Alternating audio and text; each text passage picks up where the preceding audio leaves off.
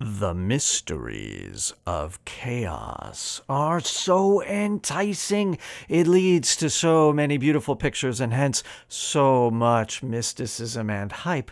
But behold, I will now reveal to you the central mystery of chaotic dynamics. That one central idea that holds the entire subject together. Are you ready for it? Here it is. Consider the following discrete time one dimensional system xn plus 1 equals 10 times xn mod 1. This is going to be defined on the interval from 0 to 1, so xn is bigger than or equal to 0, less than 1. Hmm, this is interesting. I feel like we saw this at the very beginning of our story. Oh, well, whatever, never mind. Is this a chaotic dynamical system? Oh, yes. Oh, yes, it is. Now, why? What is happening? Well, let's think about it this way. Pick any two initial conditions that are close, very close. I don't care how close, and iterate the both of them forward in time. Multiply by 10 mod 1, multiply by 10 mod 1, multiply by 10 mod 1. What happens? Hmm. It seems like, over time, these two very, very close initial conditions would separate and become, I don't know, independent, go their own way.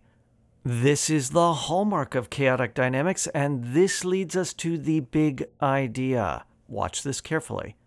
Consider an initial condition. Let's choose one. Let's call it x.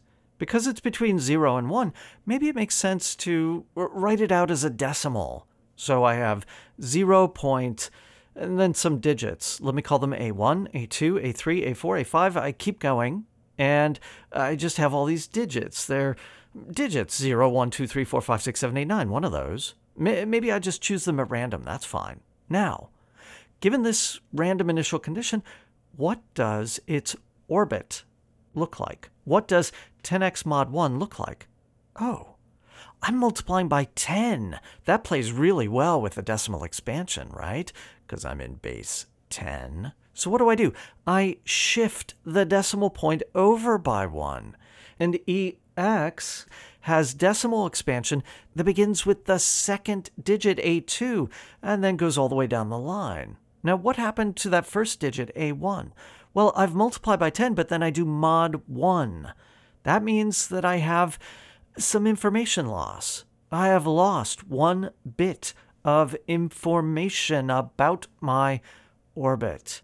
And if you like, if I'm only looking at a certain window of digits, I've gained something new at the far end.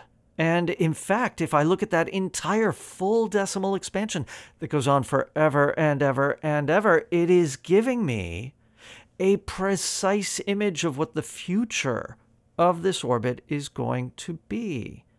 But that future is very, very difficult to see and very, very hard to predict because, let us say, I only have a finite amount of information about my initial condition.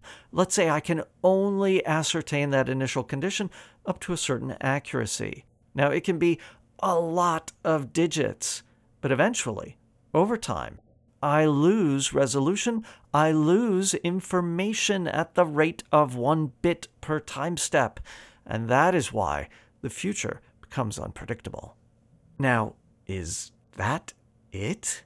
Is that example the mystery of chaos? All this exciting, crazy looking, chaotic, dynamical stuff, does it all boil down to just shifting a decimal place? Yes, mostly. There are, of course, details. And how we get to those details is a very exciting story.